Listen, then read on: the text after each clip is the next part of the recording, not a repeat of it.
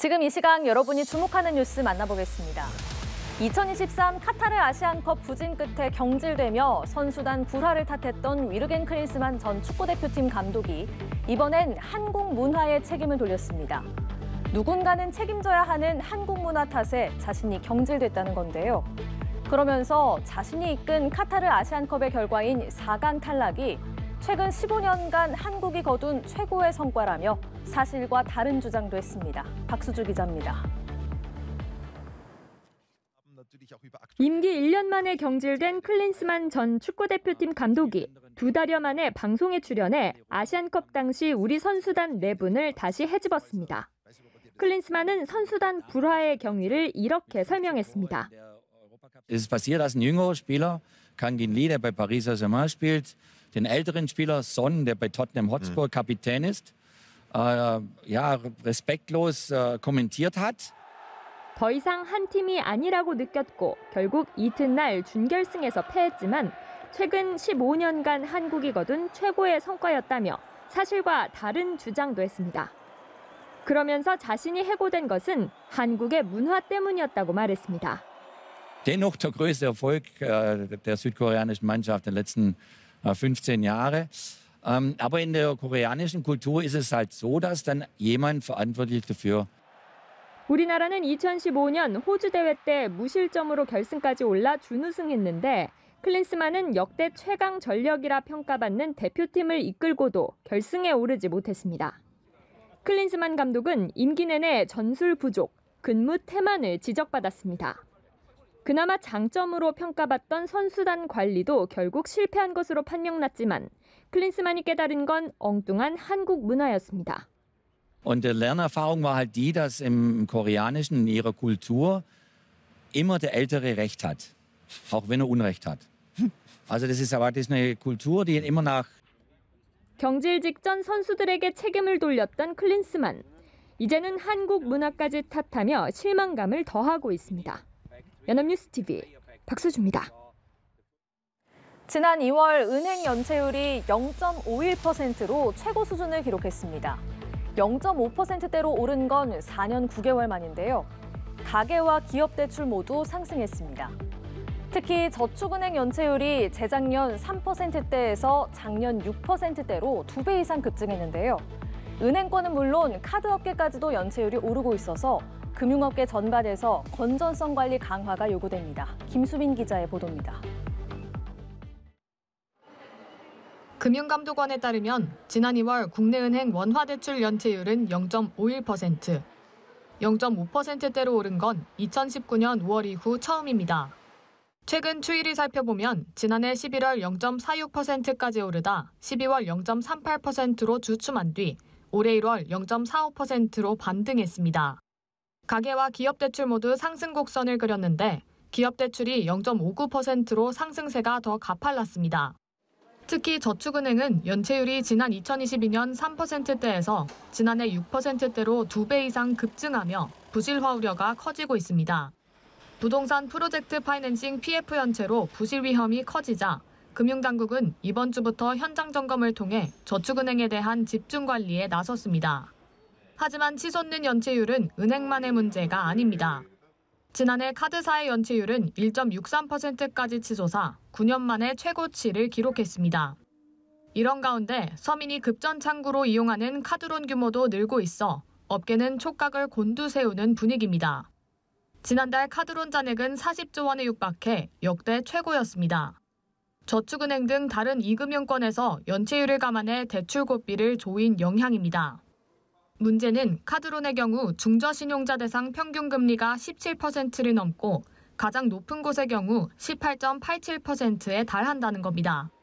취약차주들의 대출 이용이 지속될 경우 고금리를 감당하지 못해 연체율 상승을 부추길 가능성이 큽니다. 이복현 금융감독원장은 24일 주요 카드사 4곳 대표와 비공개 오찬을 했습니다. 이 자리에서 해외 신사업 등 현안에 대한 논의와 함께 부동산 PF나 카드론 등 연체율 관리에 대한 당부가 있었던 것으로 전해집니다.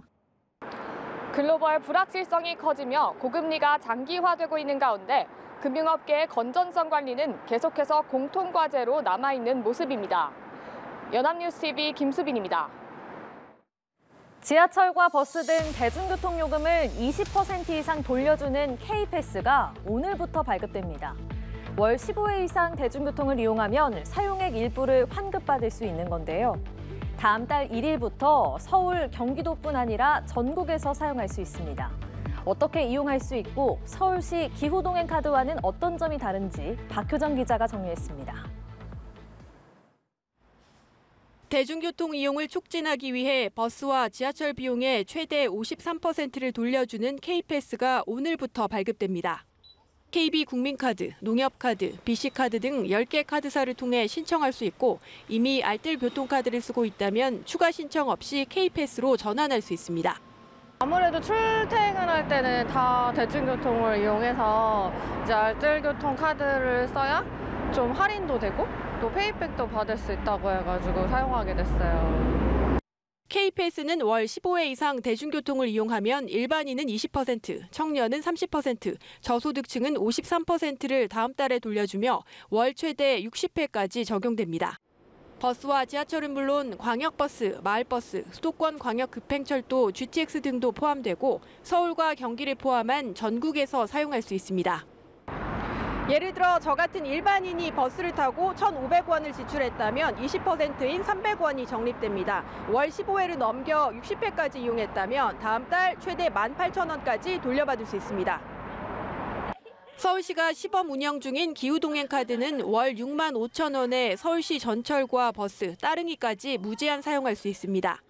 GTX와 광역버스 등은 쓸 수 없는 대신 무제한이란 장점이 있어서 각자의 출퇴근 패턴 등에 따라 선택하면 됩니다. K패스 운영 비용은 정부와 지자체가 각각 50%씩 나눠 부담하고 서울시만 60%를 책임집니다. 올해 예산은 국비와 지방비를 합쳐 1,600억 원 가량으로 추정되는데 요금이 높은 GTX가 포함된 만큼 정부는 앞으로 환급액의 한도를 정하는 방안을 검토하고 있습니다. 연합뉴스TV 박효정입니다. 이스라엘이 가자지구 최남단 라파 인근 지역에 대규모 텐트촌을 조성 중인 모습이 위성 사진으로 확인됐습니다. 이스라엘은 그동안 라파 지역 공격을 예고해왔는데요. 국제사회는 라파 지상작전이 민간인 대량 살상으로 귀결될 거라며 우려를 표해왔습니다. 이런 비난 여론을 일부 반영한 조치로 보이는데 일종의 요식행위에 불과할 수 있다는 우려도 나옵니다. 이준삼 기자입니다. 현지 시간 23일 미국 상업위성에 포착된 가자지구 남부 최대 도시 칸 유니스 인근 모습입니다. 허허 벌판의 공터 한가운데 흰색 텐트들이 바둑판 모양으로 들어서 있습니다. AP통신은 이 텐트들이 지난 16일부터 보이기 시작했고 이후 매일 규모가 커지고 있다고 전했습니다. 이스라엘은 라파 지역에 하마스 지도부를 포함한 잔당들과 이스라엘 인질들이 있을 가능성이 큰 만큼 지상작전이 불가피하다는 입장을 고수해왔습니다. בימים הקרובים נגביר את הלחץ הצבאי והמדיני על חמאס, כי זאת הדרך היחידה לשחרר את חטופינו ולהשיג את ניצחוננו. 이스라엘군은 텐트촌 조성 목적을 묻는 기자들 질의에 답변하지 않고 있지만 최근 가자지구 전투 계획을 승인한 점 등을 고려할 때 라파 작전과 직접적 관련이 있을 수 있다는 관측이 나오고 있습니다. 국제사회는 라파 지상 작전은 어떤 식으로든 민간인 대량 살상으로 귀결될 거라는 우려의 목소리를 내고 있습니다. To move them again under kinetic circumstances would complicate that enormously. And if there is not a credible, executable humanitarian plan, then we cannot support a ground operation. 호세프 보렐 유럽연합 외교안부 고위 대표는 유럽의 본회 연설에서 라파 길거리에 130만 명 이상이 피란처도 없이 살고 있다며 라파 공격의 결과는 재앙적일 것이라고 거듭 경고했습니다. 연합뉴스 이준삼입니다. 미국에서는 도널드 트럼프 전 대통령의 성추행 입막음 의혹 사건에 대한 재판이 진행 중입니다. 성추문 폭로를 막기 위해 돈을 지급하고 그 비용 처리와 관련된 회사 기록을 조작했다는 혐의인데요. 두 번째 열린 공판에서 한 타블로이드지가 트럼프의 불리한 기사를 사들여 묻었다는 증언이 나왔습니다. 정보를 사서 독점 보도하는 게 아니라 대중에게 알려지지 않도록 묻어버리는 이른바 catch and kill 수법을 활용한 겁니다. 한미희 기자입니다. 검찰이 내세운 첫 번째 증인은 타블로이드 신문 내셔널 인콰이어러의 전 발행인 데이비드 페커였습니다. 2016년 대선을 앞두고 도와달라는 트럼프의 제안을 받은 패커는 그의 눈과 귀가 되겠다고 약속했고 실제 트럼프에 대한 긍정적인 기사와 상대 후보를 흠집내는 기사를 만들어낸 과거 일들을 진술했습니다. 트럼프의 불리한 기사를 매수해 묻은 사실도 인정했습니다. 트럼프가 트럼프 월드타워 직원과의 사이에 아이를 낳았다는 소문에 대한 독점 보도 권리를 얻기 위해 3만 달러를 지불한 적이 있다는 겁니다. 정보를 사들여 독점 보도하는 것이 아니라 대중에게 알려지지 않도록 묻어버리는 catch and kill 수법입니다. 검찰은 트럼프가 이 수법을 활용했다는 점을 부각하기 위해 공소 사실 외에 다른 사례를 공개하기도 했습니다. 플레이보이 모델 출신 배우 캐런 맥두걸이 대선을 앞두고 트럼프 전 대통령과 한때 불륜 관계였다는 사실을 폭로하려 했고 내셔널 인콰이어러가 15만 달러, 약 2억 원을 주고 독점 보도 권리를 사들인 뒤 보도하지 않았다는 겁니다. 트럼프 전 대통령은 여전히 무죄를 주장하며 조 바이든 대통령을 비난했습니다. I'm not allowed to defend myself, and yet other people are allowed to say whatever they want about me. Very, very unfair. And by the way, this trial is all Biden. They're keeping me in a courtroom that's freezing, by the way, uh, in a uh, courtroom all day long while he's out campaigning. 트럼프 전 대통령은 2016년 대선 직전 전직 성인 영화 배우 스토미 데니얼스의 과거 성추문 폭로를 막기 위해 돈을 지급하고 그 비용 처리와 관련한 회사 기록을 조작한 혐의로 기소됐습니다. 연합뉴스 한미입니다.